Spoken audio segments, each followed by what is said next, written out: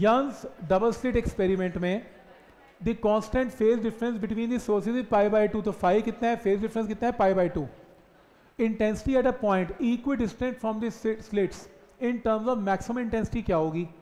अब प्रॉब्लम यह है कि जो रिजल्टेंट इंटेंसिटी का फॉर्मूला है, जो रिजल्टेंट इंटेंसिटी का फॉर्मूला है, वो वैसे क्या होता है मालूम है? वो होता है four I naught cos square five by two ये है रिजल्टेंट इंटेंसिटी चलो, ऐसा करें, ये जो फोर आई नॉट है, इसकी जगह लिख लें आई मैक्स तो resultant intensity is I max into cos square five by two क्या ये पॉइंट क्लियर है यहाँ तक? तो resultant intensity is I max cos square five by two ये भी क्लियर है यहाँ तक? आगे. वो क्या कह रहे हैं कि मैक्स इंटेंसिटी कितनी लेनी है? आई नॉट तो इसलिए इस फॉर्मूले को मॉडिफाई किया आई मैक्स की जगह फोर आई नॉट की जगह क्या पुट किया? आई नॉट समझ में आ रहा है यहाँ तक? तो यहाँ पर क्या आएगा? फोर होता फोर आई नॉट है। पर क्वेश्चन के एंड में कहा मैक्स इंटेंसिटी आई नॉट नहीं है। फोर आई नॉट नहीं है। मैक्स इंटेंसिटी आई नॉट तो फॉर्मूला ही चेंज कर दिया।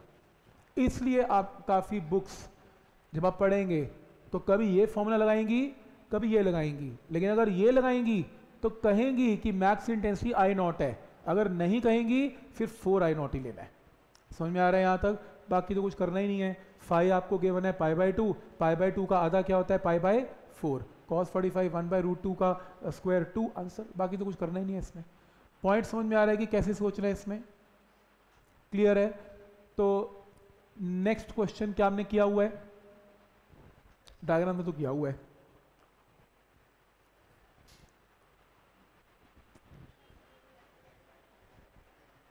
ये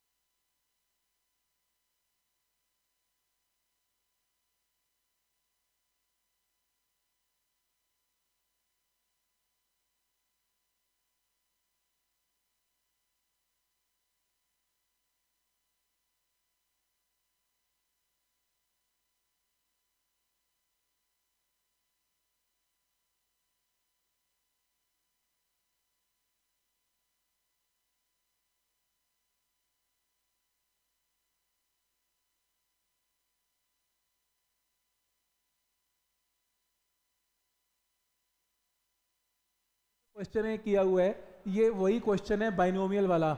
मिसिंग uh, वेवलेंथ वाला। तो रिपीट है जो मिसिंग वेवलेंथ बाइनोमियल लगाई थी तो करना नहीं है सेम है। सही है? क्लियर है? तो डन हो गया। इस question twelfth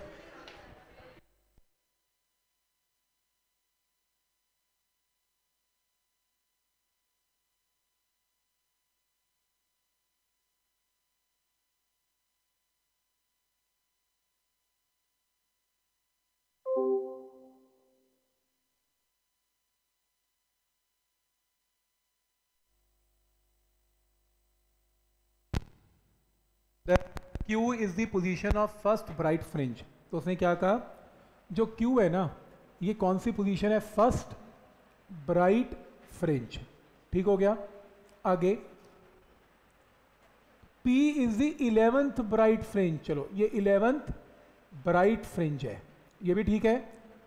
कहाँ से फ्रॉम क्यू कहाँ से फ्रॉम क्यू तो Q पॉइंट से ये इलेवेंथ ब्राइट फ्रिंज है।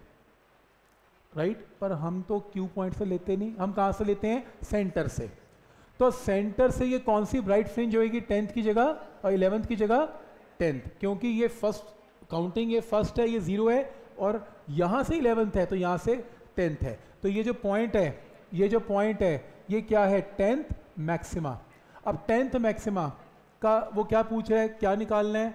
S one B will be equal to इस डायग्राम में एस वन बी क्या है? पाथ का डिफरेंस तो ये पाथ डिफरेंस क्या होता है? एन लैमडा यानी कि ten into lambda lambda given है टेन से मल्टीप्लाई कर लो आंसर खत्म?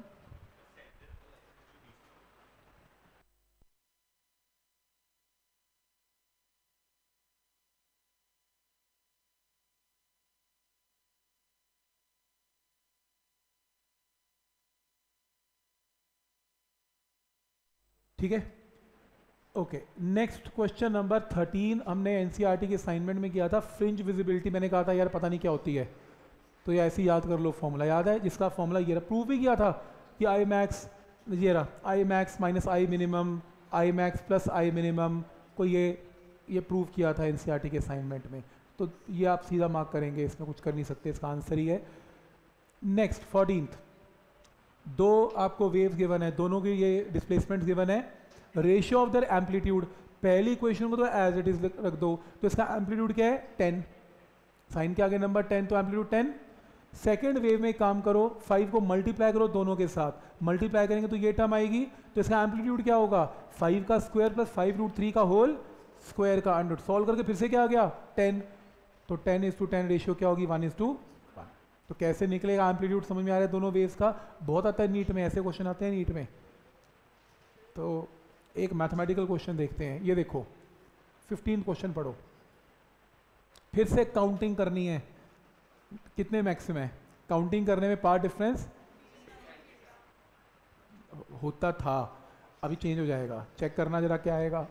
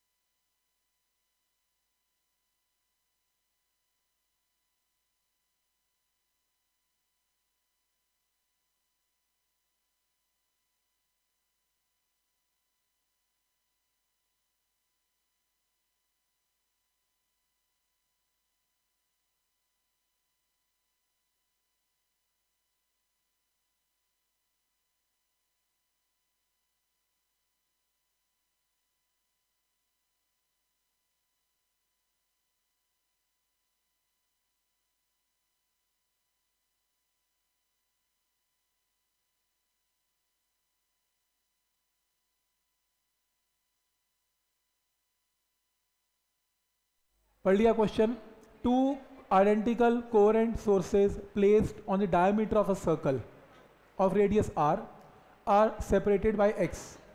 X बहुत छोटा है. Symmetrically about centre of the circle तो सेंटर के एक बार एक लेफ़्ट पे स्लिट है और एक राइट right पे स्लिट है. Source emit wavelength lambda each number of point on the circle with maximum intensity will be equal to what तो क्वेश्चन ये है कि आपके पास सपोज़ जो स्क्रीन है ना, जहाँ मैक्सिमम मिनिमम बनेगा, वो स्ट्रेट नहीं है। वो क्या है? वो सर्कुलर है। तो आपका डायग्राम कुछ ऐसा बनना चाहिए कि सपोज़ ये आपके पास एक स्क्रीन है सर्कल ये इसका क्या है? डायमीटर ये क्या है? सेंटर सेंटर राइट तो एक स्लिट यहाँ पर है और एक यहाँ पर है सिमेट्रिकली पड़ी हुई हैं। ठीक? सच दैट इनके बीच में जो डिस्टेंस है डिस्टेंस मान लो एक्स लो डी लो, कुछ भी लो, वो फाइव लैमडा क्वेश्चन में गिवन है। ठीक है यहाँ तक? तो इसके अंदर इसके अंदर ये एक लाइट एस वन से निकली और एक एस टू से। मान लो यहाँ पर इंटरफेयर हुई। इंटरफेयर उसने कहा कि मुझे मैक्सिमा के पॉइंट गिन के बताओ कितने हैं। अब लाइट यहाँ भी इंटरफेयर होगी, यहाँ भी होगी, यहाँ भी होगी, यहाँ भी होगी, यहाँ भी यहाँ भी, चारों क्वाड्रेंट में होगी। काउंट करके बताओ ऐसे कितने मैक्सिमा आएँगे। चारों में तो क्या काउंट करेंगे? पहले एक क्वाड्रेंट में करेंगे, उसको चार से मल्टीप्लाई करेंगे, क्योंकि सिमेट्रिकल फिगर है। तो एक काम करते हैं, पहले फ़र्स्ट को इसी क्वाड्रेंट की बात कर लेते हैं। इस क्वाड्रेंट में काम करेंगे, यहाँ पर ये एक्स पता है मुझे? और यहाँ पर एक परपेंडिकुलर ड्रॉ करते हैं। तो हमेशा की तरह परपेंडिकुलर सच दैट ये और ये वाली लेंथ यहाँ तक तो बराबर है, पर ये जो पॉइंट ये जो डिस्टेंस आएगा, ये वाला, ये डिस्टेंस अगर मान लो ये एंगल थीटा है तो ये डिस्टेंस क्या आएगा? एक्स कॉस थीटा चेक करो कैसे?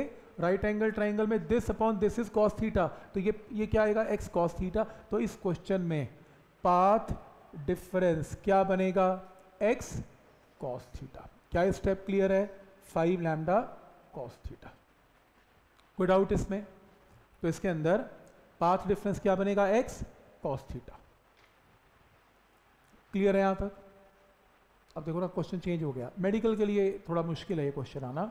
बट हाँ नॉन मेडिकल के लिए समझ में आ रहा है.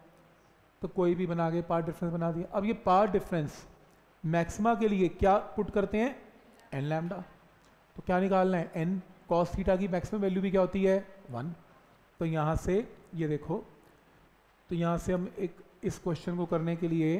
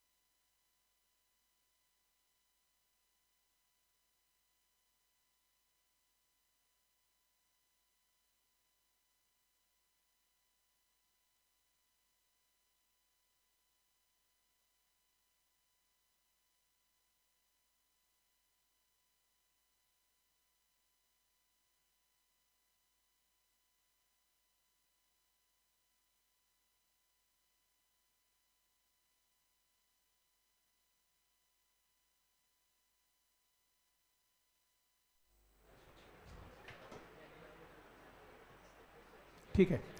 तो मैंने क्या बताया कि पाथ डिफरेंस की वैल्यू पाथ डिफरेंस कितनी है? इसके इक्वल है cos theta n by five cos theta की मैक्सिमम वैल्यू कितनी है? वन तो एन की मैक्सिमम वैल्यू कितनी है? फाइव पहले क्वाड्रेंट पे पाँच मैक्सिमम बनेंगे। दूसरे में पाँच, तीसरे में पाँच, चौथे में पाँच, कुल मिला के बीस। इंटू चार करना है। क्लियर है? अब कोई स्टूडेंट इतनी ज्योमेट्री बना नहीं पाया। चलो। बना नहीं पाया या नहीं समझ में आया, नहीं आता कोई बात नहीं। उसको ये तो समझ में आता है, हालाँकि गलत सोल्यूशन बता रहा हूँ, कि जब नंबर जब काउंटिंग करते हैं काउंटिंग करते हैं तो पार्ट डिफरेंस क्या लेते हैं? एन डी साइन थीटा यहाँ पे हालाँकि कॉस है। चलो, नहीं समझ में आया उसे, उसने कहा मैं तो डी साइन थीटा लेके कर देता हूँ। डी साइन थीटा में अगेन वो क्या करेगा? फाइव लैमडा साइन थीटा कर लेगा ना? Equal to n lambda sine theta n by five या साइन थीटा की भी मैक्सिमम वैल्यू क्या होती है? वन तो आंसर तो उसका फिर भी गलत ना होता। तुक्का है ये? तो भी बी सी आएगा। साइन हो जाए कॉस हो मैक्सिमम वैल्यू तो वन ही है। पर ये हर में चलेगा, नहीं चलेगा, मुझे मालूम नहीं। पर काउंटिंग में कहीं ना कहीं ज्योमेट्री नहीं भी बन रही तो भी एक थोड़ा सा हिट एंड ट्रायल तो चल ही सकता है। समझ में आ रहा है यहाँ तक? और बनना एक्स कॉस थीटा या एक्स साइन थीटा ही है, पक्की बात है काउंटिंग में। क्यों? टैन में तो बनने से रहा। मैक्सिमम वैल्यू साइन कॉस में बनेगी और जो कि क्या होती है? वन तो मैं आपको ये इशारा कर रहा हूँ। ये मेथड नहीं है, गलत है। कि अगर फंस जाओ तो यार कहीं अगर कुछ समझ में नहीं आ रहा तो कुछ ऐसा सोच तो सकते ही हो कि कुछ शायद आंसर आ जाए। पता नहीं, आए नहीं, मुझे खुद नहीं पता। मैंने भी अभी भी सोचा ये। ठीक है? पॉइंट समझ में आ रहा है यहाँ तक। तो क्वेश्चन नंबर सिक्सटीन किया हुआ है।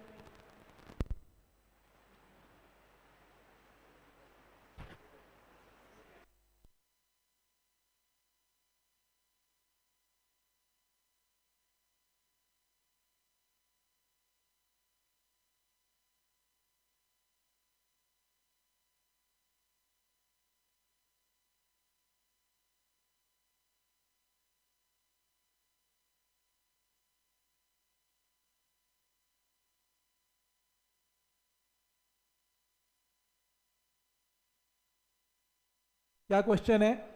Coherent point rotating in phase emit light of wavelength lambda lambda के दो सोर्स हैं. Separation between two sources is two lambda separation between two sources two lambda smallest distance from S two ध्यान से smallest distance from S two तो अगर मान लो एक आपके पास स्लिट क्या है, जिसका नाम क्या है? एस वन तो एक स्लिट है एस वन एक स्लिट है एस टू ऐसे ही है। ठीक है यहाँ तक? और ये क्या है? सेंटर है। चलो सेंटर को दो मिनट छोड़ देते हैं। वो क्या कह रहा है? Smallest distance from S two on a line passing through S two and perpendicular to S one S two S one S two के परपेंडिकुलर एस टू से पास करती हुई लाइन तो यही निकलेगी। एस वन एस टू के perpendicular pass करती हुई एस टू में से लाइन यही निकलेगी। तो यहाँ पर कोई कह रहा है पॉइंट पी है। यहाँ पर बताओ इंटेंसिटी क्या होगी? नहीं, यहाँ पर मिनिमम इंटेंसिटी है, वो कह रहे हैं इंटेंसिटी यहाँ पर क्या है? मिनिमम तो आप इसमें बताओ कि वेवलेंथ क्या, इसके अंदर क्या निकालना है? Smallest distance from S two निकालना है। तो बेसिकली आपको यही तो निकालना है क्या है? तो मेरे ख्याल से ये डायग्राम यहाँ पे समझ में आ रहा है। ये टू लैमडा गिवन है, ये एक्स है। तो ये डिस्टेंस पाइथागोरस से आ जाएगा। तो पाथ डिफरेंस क्या होगा? This minus x P point पर पाथ डिफरेंस क्या होगा? दिस माइनस एक्स तो इन दोनों को अगर माइनस करें, इन दोनों का पार्ट डिफरेंस उसने क्या कहा? पी पॉइंट पर क्या आएगा? मिनिमा मिनिमा की कंडीशन क्या है? Two n minus one into lambda by two तो पार्ट डिफरेंस देखो ऐसे क्वेश्चन में पार्ट डिफरेंस पाइथागोरस से निकलना है। इज़ इक्वल टू ये कंडीशन है, आपको लैमडा निकालना है तो लैमडा एक तरफ़, बाकी टर्म्स एक तरफ़। ठीक है? अब यहाँ से आपको ये नहीं गिवन उसने कहा कि पी पॉइंट पर मिनिमम इंटेंसिटी है। यानी कि पी पॉइंट पर मिनिमम है। कौन सा मिनिमा ये नहीं पता। First minima second minima third minima ये नहीं पता। हिट एंड ट्रायल है। पहले फ़र्स्ट मिनिमा एन की वैल्यू वन एन की वैल्यू यहाँ वन पुट करेंगे lambda by two x solve करेंगे आंसर नहीं आएगा। फिर दोबारा करेंगे एन की वैल्यू टू टू पुट करेंगे, फिर एक्स सॉल्व करेंगे आंसर आएगा। अगर ना आता एन की वैल्यू थ्री कभी तो आता। पॉइंट समझ में आ रहा है कि कैसे करेंगे? ठीक है मेडिकल में डाउट है इसमें भी, आएगा नहीं। पॉइंट समझ में आ रहा है, इतने बड़ी कैलकुलेशन नहीं आ सकती कॉन्सेप्ट आ सकता है। समझ में आ रहा है यहाँ तक? तो इस क्वेश्चन का आंसर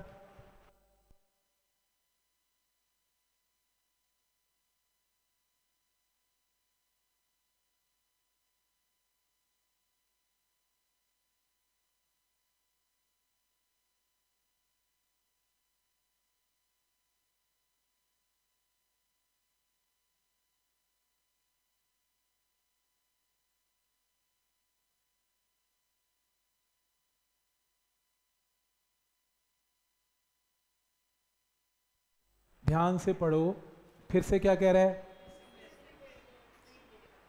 और लगनीरा बाइनोमियल जैसी बातें कर रहा है। तो ये वही क्वेश्चन की कॉपी है, जो अभी मैंने बोली थी सेम है।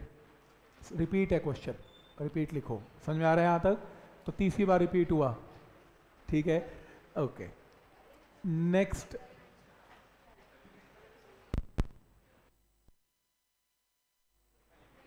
seventy six number sheet में क्वेश्चन नंबर वन होमवर्क है।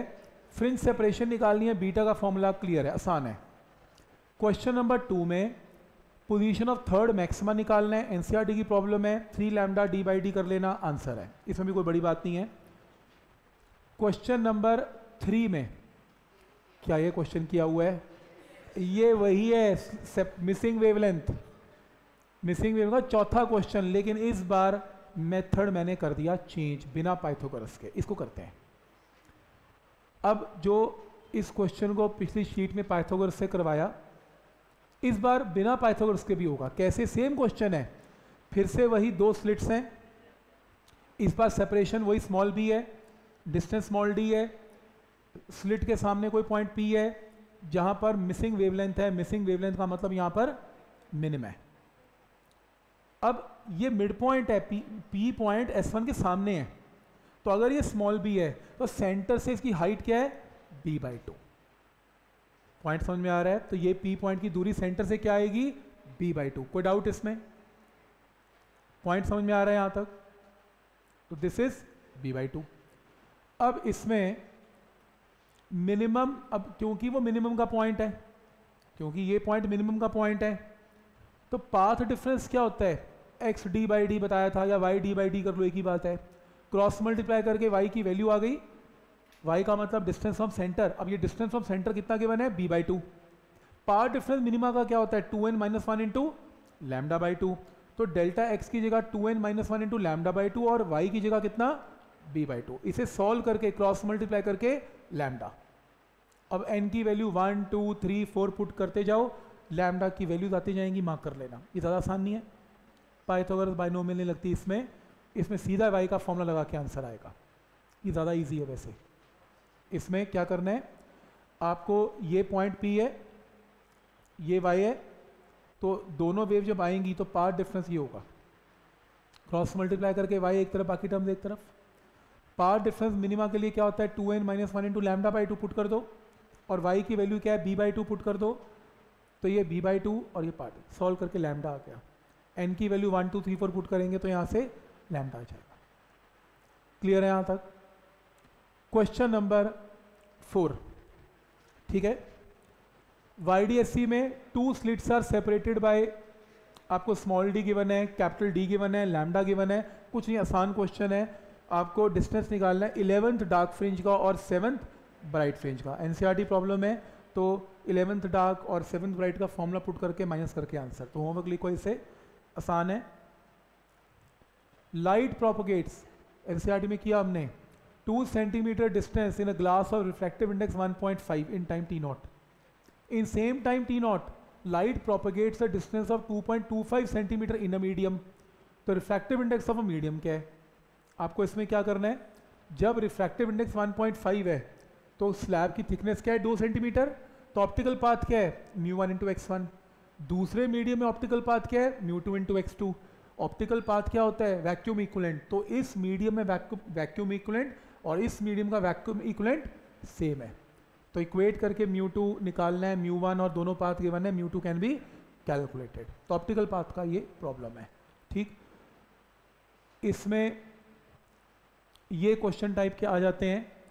इन यंग्स एक्सपेरिमेंट जब वेवलेंथ इसके इक्वल है 84 फ्रिंजेस को देखा गया in a certain view in a certain screen के ऊपर। जब 62 फ्रिंजेस यूज़ करते हैं तो वेवलेंथ क्या होगी? तो एक स्क्रीन है डिस्टेंस वही है फ़ील्ड का, एक फ्रिंज बीटा लेंथ की है, और ऐसी कितनी फ्रिंजेस हैं? एन वन तो पूरा डिस्टेंस क्या होगा? एन वन बीटा वन और दूसरे केस में ये एन टू हो जाता है और बीटा टू हो जाता है तो लेंथ तो वही रहती है स्क्रीन की तो n two beta two equate करके बीटा क्या होता है? लैमडा डी बाई डी तो यहाँ से क्या आ जाएगा? N one lambda one is n two lambda two तो यहाँ से lambda two can be calculated तो आइडिया समझ में आ रहा है इस टाइप की प्रॉब्लम को कैसे करना है? तो आप बुक्स करेंगे तो आपको ऐसे क्वेश्चन मिलेंगे रिवाइज करेंगे तो आपको देखना पड़ेगा रिविजन तो करनी पड़ेगी आपको। पर आपको आइडिया दे रहा हूँ मैक्सिमम क्वेश्चन में, ताकि आपको पता लगे कि कैसे क्वेश्चन को सोच रहे हैं। जैसे, ये नहीं करेंगे यार, ये बाद में करेंगे। ये भी होमवर्क है नेक्स्ट वाला नाइन्थ नाइन्थ क्वेश्चन पढ़े।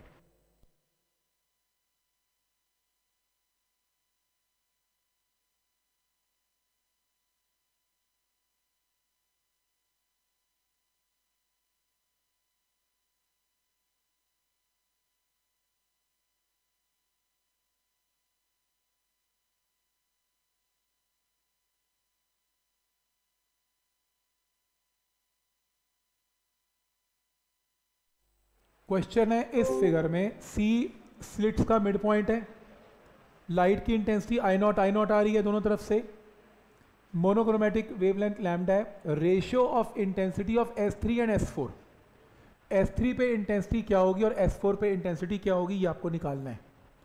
तो एस थ्री पे इंटेंसिटी क्या होगी? ये पार्ट डिफरेंस ज़ीरो है मैक्सिमम इंटेंसिटी क्या होती है? Four I naught cos square five by two अब फाइव सेंटर पे क्या है? ज़ीरो कॉस ज़ीरो क्या होता है? वन तो इंटेंसिटी क्या आ गई? फोर आई नॉट क्लियर है? सेंटर के ऊपर तो intensity maximum four I naught है। अब इंटेंसिटी कहाँ निकालनी है? यहाँ पे। तो ये हाइट गिवन है आपको इतनी। जब आपको ये हाइट गिवन है तो आपको पता है कि पाथ डिफरेंस क्या होता है? Y d by D cross multiply करके वाई एक तरफ़ और बाकी टर्म या एक काम करो वाई की वैल्यू आपको गिवन है।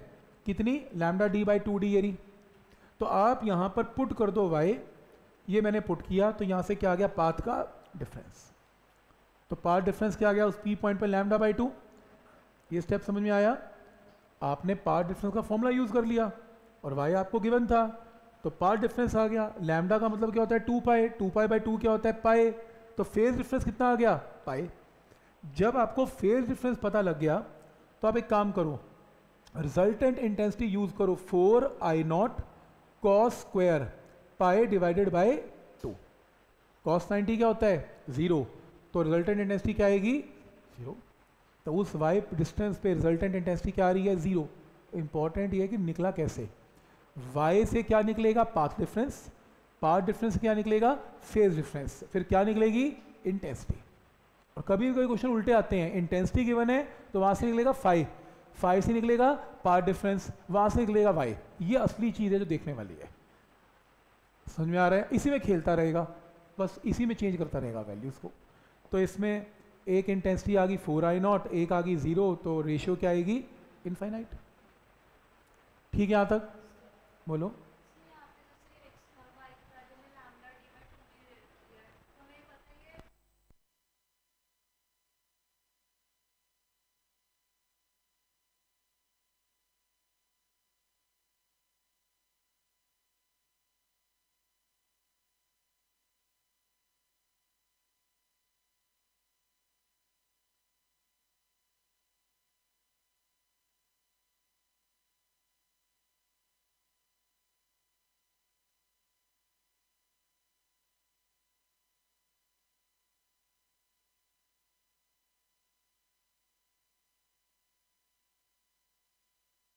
क्वेश्चन है मेज और नीट का।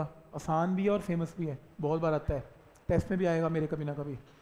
जब ये ऑप्टिक्स का होगा। याद आ रहा है, मेरे को कुछ दिया तो था मैंने भी। पैरेलल एक, चलो आपके एक नंबर तो पक्का हुआ। Parallel beam of light of intensity I naught is incident on a glass plate 25 percent of light is reflected by upper surface and 50 percent of light is reflected from lower surface ratio of maximum to minimum intensity in interference region of reflected rays is equal to what अब क्या problem है? ये glass slab है। Glass slab के अंदर light enter करती है with I naught कुछ रिफ्रैक्ट होती है और कुछ रिफ्लेक्ट होती है। तो ऊपर की सरफेस पे 25 परसेंट रिफ्लेक्ट होती है। 25 परसेंट वन फोर्थ होता है। तो आई नॉट में से I naught by four reflect हो गई तो बची कितनी? Three I naught by four कहाँ गई? रिफ्रैक्ट हो गई। अब जब ये यहाँ फिर से रिफ्लेक्ट होगी और कुछ रिफ्रैक्ट भी होगी। जो रिफ्रैक्ट होगी, उसका तो कुछ नहीं करना।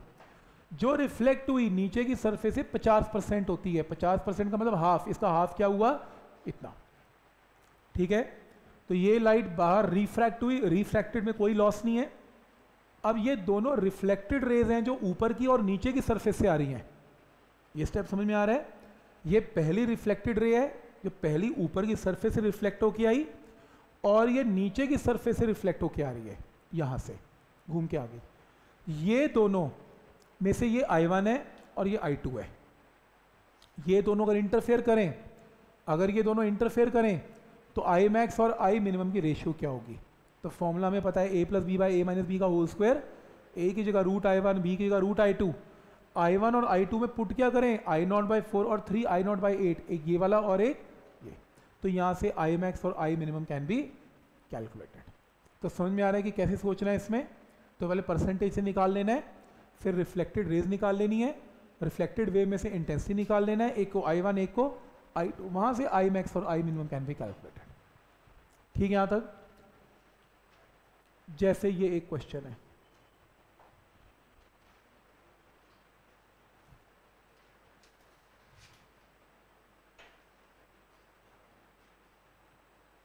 अच्छा ये वाइट लाइट कह रहे हैं।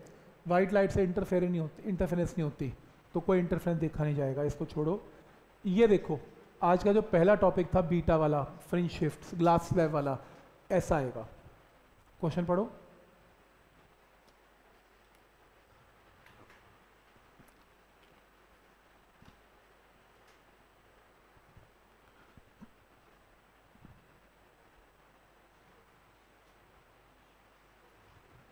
Young's expect the slits is covered with a sheet of thickness given, t है।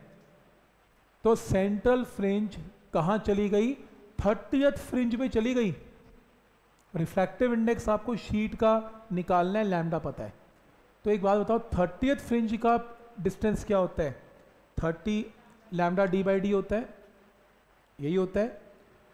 और यहाँ पर कौन चला गया? सेंट्रल सेंट्रल कितनी शिफ्ट हो जाती है? आज हमने किया शिफ्टिंग तो इतना शिफ्ट हो गया और ये यहाँ पे पहुँच गया। दोनों को इक्वेट करके म्यू निकाल लेना। तो पॉइंट समझ में आ रहा है कि सेंट्रल पॉइंट कितना शिफ्ट होता है, इतना डेरिवेशन की और कहाँ पर चला गया? थर्टीथ फ्रिंज पे। तो एक फ्रिंज की with lambda D by D तो थर्टीथ की thirty into lambda D by D तो समझ में आया ये शिफ्टिंग वाला क्वेश्चन कैसे होगा? ठीक है यहाँ तक? ठीक। क्वेश्चन नंबर थर्टीन देखना।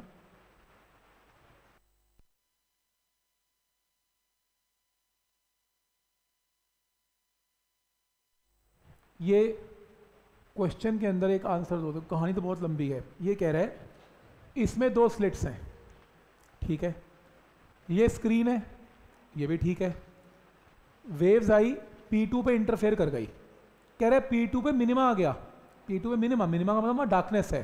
कुछ नहीं हुआ क्रेस्ट और ट्रफ कैंसल ठीक हो गया? यहाँ पे किसी ने होल कर दिया, जहाँ मिनिमा था। आगे एक स्क्रीन रख दी फिर से। होल किया, आगे दो स्लिट्स फिर बना दी, ओपनिंग कर दी और यहाँ स्क्रीन रख दी। तो कह रहे क्या यहाँ से लाइट आएगी? और फिर क्या, फिर से क्या इंटरफ्रेंस देखा जाएगा यहाँ पे कि हाँ या ना? तो कोई कहता है, नहीं। मैंने कहा, क्यों? वो कहता है, क्योंकि यहाँ पर तो डार्कनेस है। लाइट तो आपस में कैंसिल कर गई। तो आगे लाइट निकलेगी नहीं होल में से। और दूसरा स्टूडेंट ये कहता है कि, नहीं, लाइट यहाँ पर कैंसिल ज़रूर कर गई। क्योंकि एक का क्रेस्ट आया तो दूसरे का भी, दूसरे का ट्रफ आया। लेकिन ऐसा थोड़ी ना कि वेव्स वेव्स आई नहीं। वेव्स आई, यहाँ पे इस इंस्टेंट पर कैंसिल कर गई, उसके बाद ये आगे और आगे ऐसे ही चली गई। क्योंकि सुपर पोजिशन तो इंस्टेंट पे होता है। राइट तो इसीलिए इसका आंसर है, इस इंस्टेंट पर ज़रूर कैंसिल कर रही है, पर ये वाली लाइट आगे और ये वाली लाइट आगे जाएगी और फिर से क्या शो करेगी यहाँ पर? इंटरफेरेंस समझ में आ रहा है? तो ये मत सोचना कि वहाँ डार्कनेस है होल करने पे लाइट आगे नहीं जाएगी। लाइट आगे जाएगी, उस इंस्टेंट पर ज़रूर डार्कनेस है लाइट आनी बंद नहीं होगी। तो आगे तो एनर्जी जाएगी जाएगी एनर्जी कैसे खत्म हो जाएगी? तो पॉइंट समझ में आ रहा है? इसलिए इसका आंसर जो आप लोगों ने मार्क करना है, वो करना है there would be a regular two slit pattern on the second screen उसके ऊपर भी रेगुलर पैटर्न बनेगा। समझ में आ रहा है यहाँ तक? नेक्स्ट क्वेश्चन हुआ हुआ है, आज हमने किया रिपीट है ये क्वेश्चन नंबर फिफ्टीन होमवर्क है सेम एम्पलीट्यूड वाली प्रॉब्लम है। सिक्सटीन सेम है इंटेंसिटी वाली प्रॉब्लम होमवर्क है ये भी। सेवनटीन डिफ्रैक्शन आज नहीं करेंगे और लास्ट क्वेश्चन है एटीनथ एटीन क्वेश्चन देखो।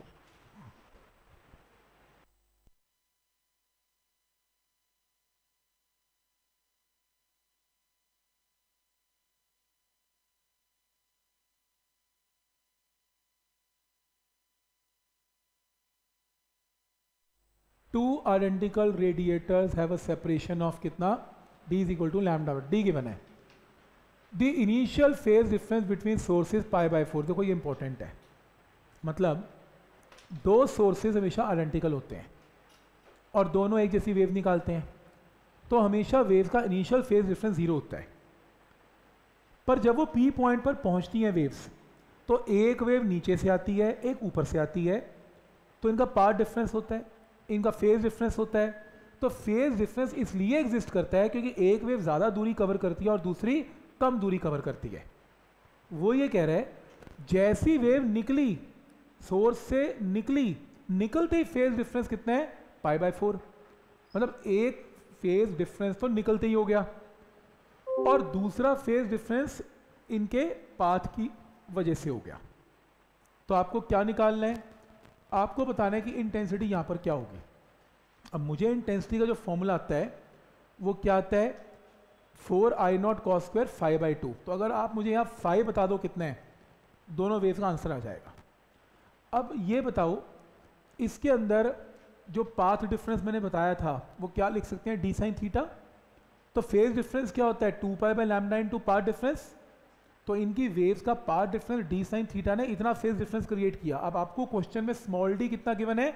लैमडा बाई फोर तो यहाँ पर पुट करें लैमडा बाई फोर और एंगल थीटा कितना गिवन है? थर्टी सॉल्व करके क्या आ गया? फ़ेज़ डिफरेंस जो कि फिर से क्या आ गया? पाई बाय फोर अब ये पाई बाय फोर इनके बीच में डिस्टेंस की वजह से है। तो एक फ़ेज़ डिफरेंस था शुरू में पैदा होते ही लाइट के और एक है दूरी कवर करने की वजह से। तो टोटल फ़ेज़ डिफरेंस कितना हो गया? पाई बाय टू ये स्टेप समझ में आ रहा है नॉर्मल क्वेश्चन में ये नहीं होता। मतलब अभी तो लाइट निकली भी नहीं थी। Initial phase difference pi by four था। फिर लाइट ने दूरी कवर की तो पाई बाय फोर और हो गया। तो टोटल कितना हो गया? Pi by two normal question में ये कभी नहीं होता, दूरी की वजह से होता है। तो यहाँ पर फाइव की जगह पाई बाय टू आंसर तो ये क्वेश्चन कैसे डिफरेंट है नॉर्मल से समझ में आ रहा है? तो इस क्वेश्चन में इनिशियल फ़ेज़ डिफरेंस भी लिया जाएगा। और जो हम नॉर्मल लेते हैं पार्ट डिफरेंस की वजह से वो भी लिया जाएगा। क्या ये पॉइंट सबको क्लियर है?